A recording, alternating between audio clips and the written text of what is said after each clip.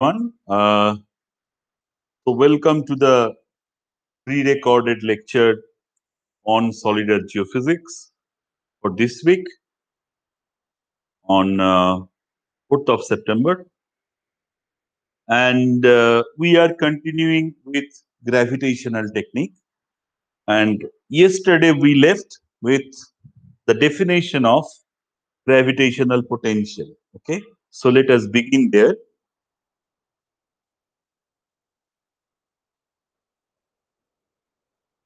Gravitational potential and we define gravitational potential as potential energy of a unit mass in the field of gravitational attraction.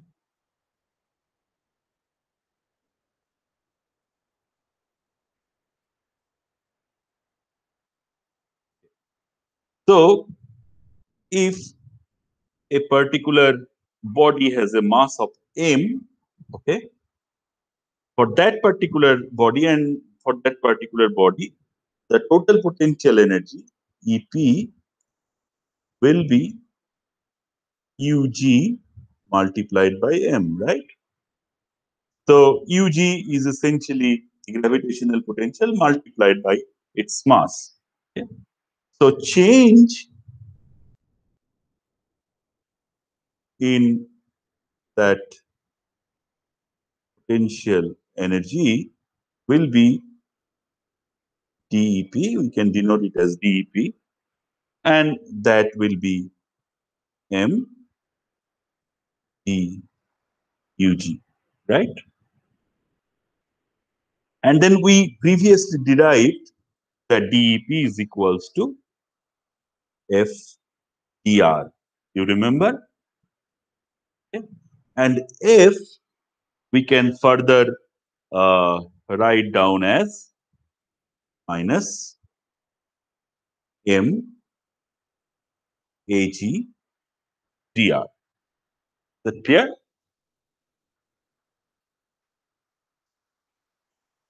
Give one moment.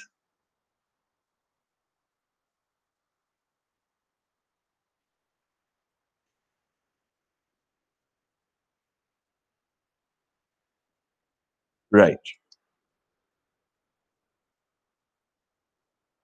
So DEP is equals to minus MAG PR. Okay. So I can further simplify this form. AG can be written as minus DUG DR, right? And then of course, if we, uh, as we know, you know, AG is a vector because it's acceleration due to gravity.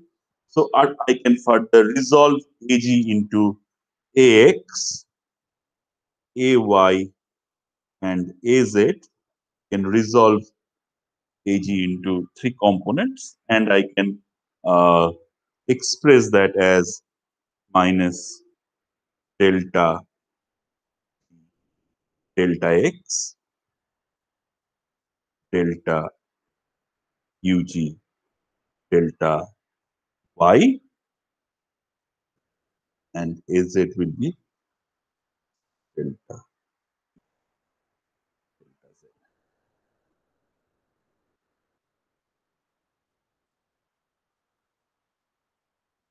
So, what we are getting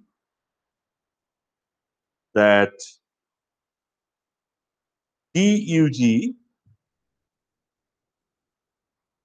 dr is equals to gm by r square. That is how we have expressed the uh, expressed gravitational uh, acceleration, right? gm by r square.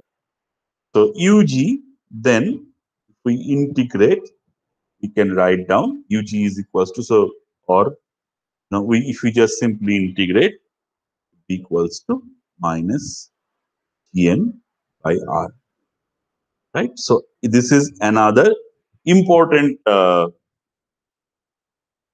uh, so let let uh, this is uh, just uh, UG is equals to minus Gm by R. Right. This is another important formula that you should keep in your mind. Okay. One was uh, Ag that was equals to minus Gm by R square. Minus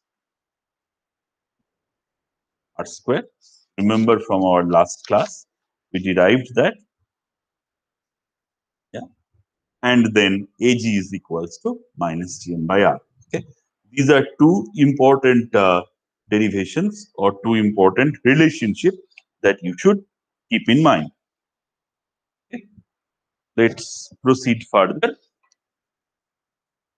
Now,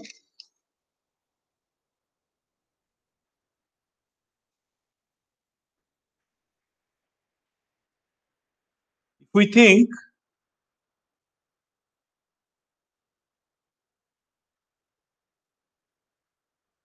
So whatever we have derived so far for a point mass. Now, let us try to derive acceleration and potential of a distribution of mass. Okay.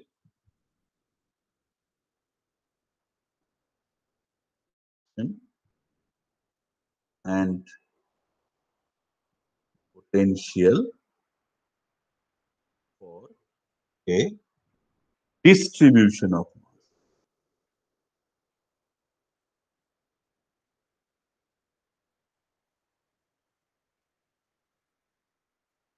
That is something we are going to see how it looks like. So let us begin by using our coordinate frame x, y, and z. And then let us imagine that I have a body of irregular size. This is a three-dimensional body of irregular size. And then I want to understand the potential and acceleration a point P due to the presence of this particular body. Okay. So what we can do if the total mass, yeah, so if the total mass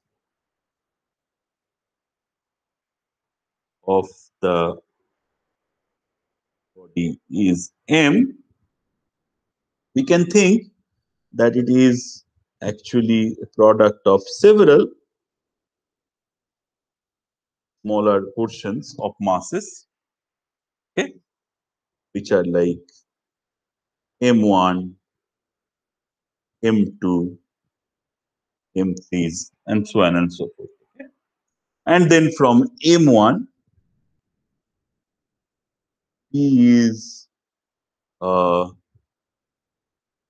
placed at a distance of R1. So their uh, distance vector is R1. Similarly, from M3, you know, sorry, my apologies. Let me do it somewhere else.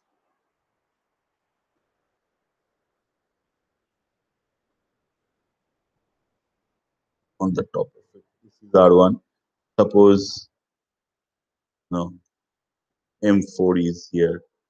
So I can say R4. And similarly, you can say this is M3.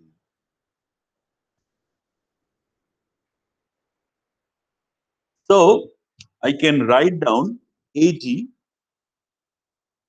is equals to minus G M1 by R1 square R1 minus G m2 r2 square r2 m3 r3 square. Right. And similarly i can also express potential equals to minus E M1 R1 M2 R2 P by R3 and then we can integrate it okay? That is something we can do. But the problem is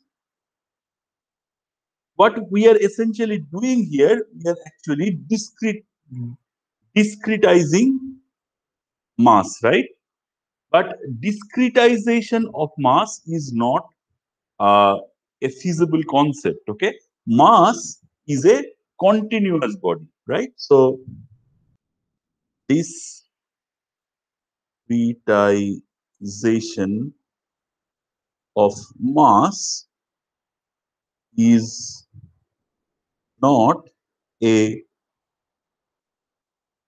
feasible concept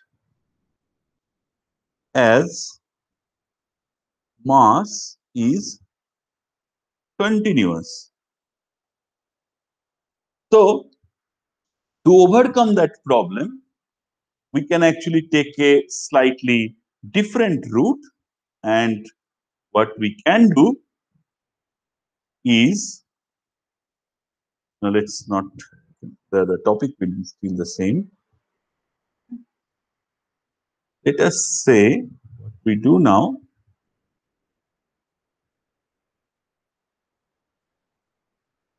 Take the same philosophy use it in a in a in a different way that so i have my x y and z course i have my body of no, of any any shape okay? What we can do instead of discretizing mass we can discretize volume okay? That is not a problem okay? We can subdivide this total volume okay into number of smaller discrete volume and let us say one such volume is dv so the mass of this particular uh, volume is dv so m1 let's say this the mass of this volume is m1 is equals to dv rho 1 right? And then if we can essentially integrate uh, all the dv's okay and let us if we, if we say that we have a you know a singular density then we don't have to integrate rho. I mean rho will be common but then if we integrate uh, all the dv's i should be able to discretize the body in terms of volume. Okay? So with that philosophy we can write down ug is equals to minus g and we have to integrate in the direction of x, in the direction of y, the direction of z, okay. rho x, y, z. Yeah. dx, dy, dz r x, Okay. So here I am essentially integrating rho in the x direction, y direction, and z direction. Yeah. And then of course I am subdividing with r, right? And that will provide me also the gravitational potential, okay? And if we think that this is this particular mass that we are we are thinking is the mass of the earth so we can write down ug equals to minus e, e by r where e is the mass of the earth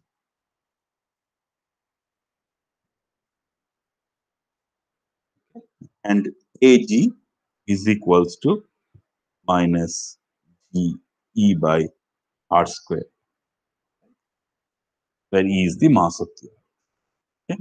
So, not by discretizing the mass, but by discretizing the volume, you can also come up to the simple solution of calculating UG. Okay.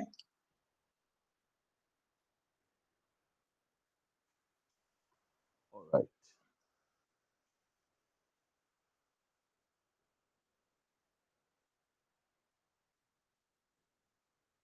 Now, let us a simple numerical. So, from this and from this, you know, let us do some more derivations. Okay. So, we can now think of the earth and then let us say the radius of the earth is capital r mass of the earth is capital e okay? And then of course um, i can express e is equals to r square ag by capital g. I'm only looking at the magnitude okay? So this is from Ag is equals to Eg by R squared. So if I just sim, you know do some uh, simplification, I can express E is equals to R square Ag by G. Okay.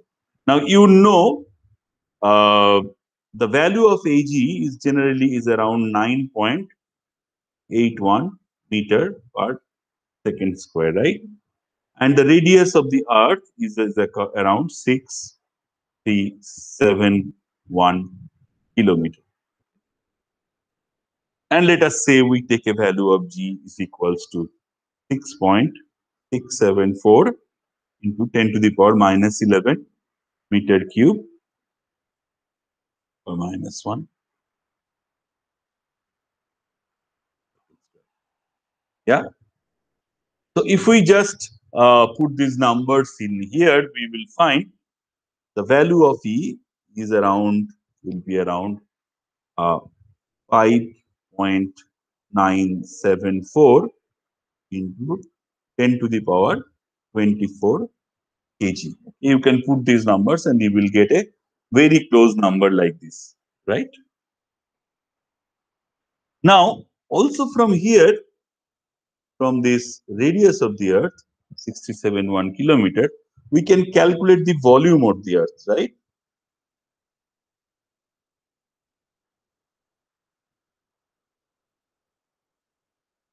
right? And volume of the earth how?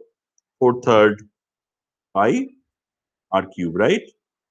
Four third pi r cube will provide me the volume of the earth. And if we put that number, what we will find will be will be a value. I have not calculated it uh, right now. But then,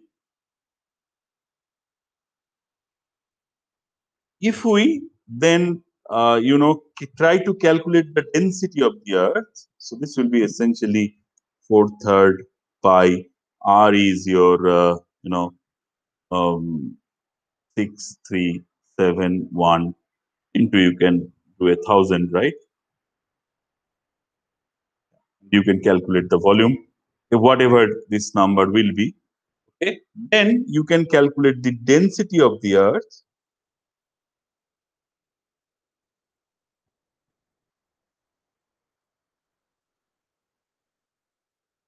and that will be if you do that you know you have calculate so that will be e by v right? And that will come very close to 5 5 1 5 kg per meter cube right? Now or we can essentially essentially say that this is around uh, 5.5 gram per cc. right? So by this method, what I am seeing, I have calculated the density rho earth around 5.5 gram per cc. Now, we know that the rho of the continental crust is around 2.7 gram per cc, right? And rho of the uh, oceanic crust is not very high, you know, 3.1 or 3.5 gram per cc. Okay, it's little bit higher, but the average density of the Earth, as you can see, is 5.5 gram per cc, which is almost double, right? Double the value. So that provides us a direct clue that the mass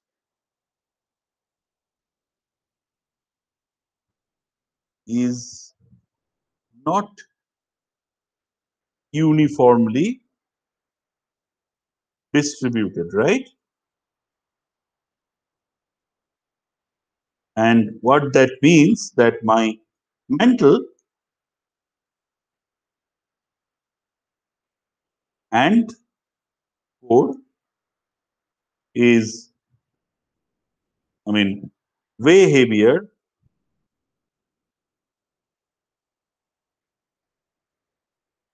than the crust, right?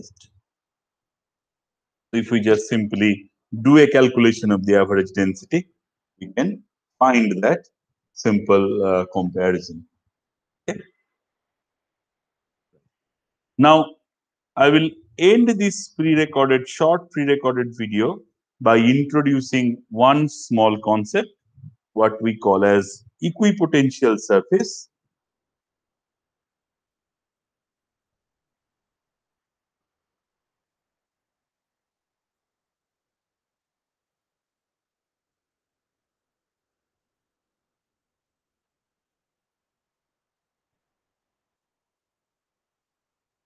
So,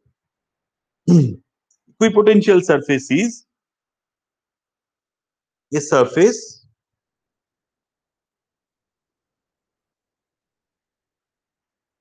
where at all points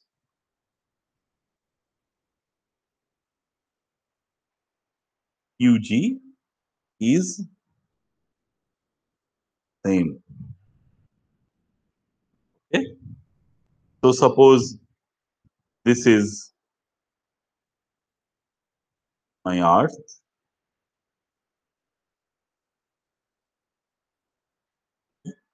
And then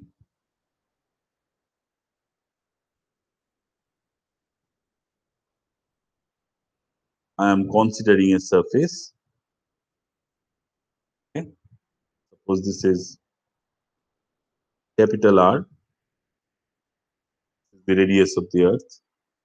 And then I am considering a surface, suppose which is, you know, h1 meter above the above the uh, above the surface of the earth and then we find at each point if we measure ug yeah it will be the same and hence i will call it the potential surface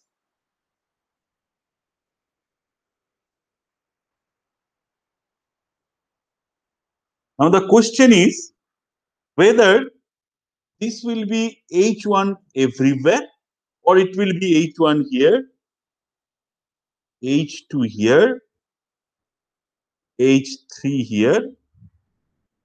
So whether it will be, um, I mean, of uh, uniformly distant from the surface of the earth or it will be uh, distantly spaced. Okay. if uh, and we will and and this will essentially form one of the uh, most important concept of that we will use in our gravitational technique okay the clue is if we think that you know the earth is like a perfect sphere okay and of course you know all the materials like the crust is of same thickness. Also the mantle is of same thickness everywhere. And then the core is of same thickness everywhere. I mean it's like a perfect ideal spherical entity. Then we might see that the H will be uniformly distributed. I mean, H, so the, it will be the same value H. It will be the it will be uniformly distant from the surface of the Earth. But if it is not the case, we will see it will vary. The equipotential surface will not be like a simple concentric ring all over the Earth. Okay? It will change its shape. And we will uh, see why it is and we will uh, investigate that particular thing further and that will form one of the basis of the geophysical techniques that we are going to discuss later on. Okay?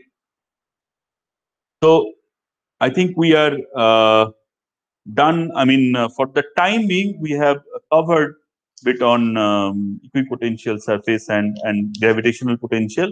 Okay, the next thing that we have to understand is centrifugal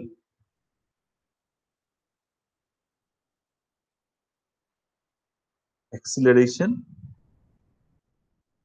acceleration and centripetal acceleration.